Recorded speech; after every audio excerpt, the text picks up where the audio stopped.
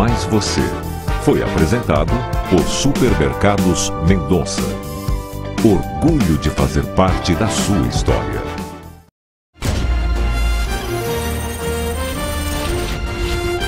Vanguarda. 20 anos. Link Vanguarda. Oferecimento. Center Vale, sempre com você. E Vale Cap, ajude e concorra. Direto da Central Vanguarda de Notícias, no ar.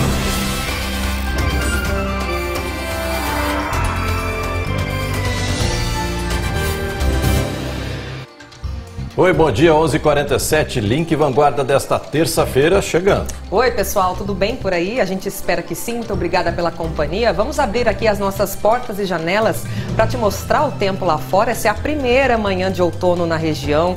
Agora são 11:47, céu azulzinho. Ó só que imagem linda. Tava friozinho de manhã, né? Mas ó, vai esquentar bastante nas próximas horas.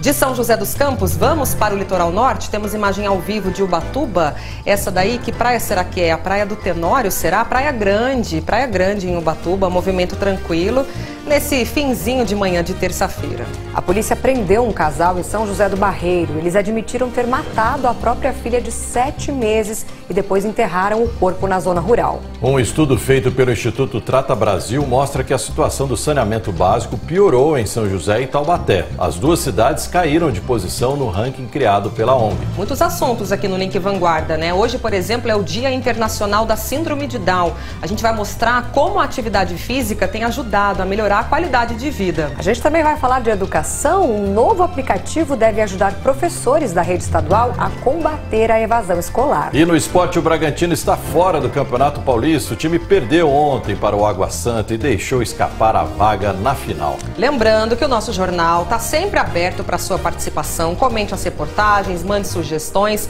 e, claro, faça o seu check-in. O link Vanguarda já está no ar.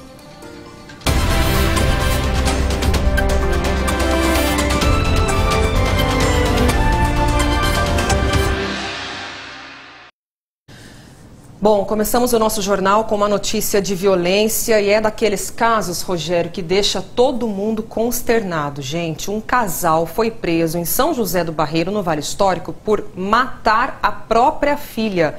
A gente está falando de um bebê de sete meses. Esse caso está sendo registrado em Cruzeiro. A Laurene Santos está na delegacia e conversa ao vivo conosco. Tem informações do delegado. Ô, Laurene, e aí? Como é que a polícia descobriu esse caso? Quais são os detalhes da ocorrência? Conta pra gente. Bom dia para você. Oi, Thalia.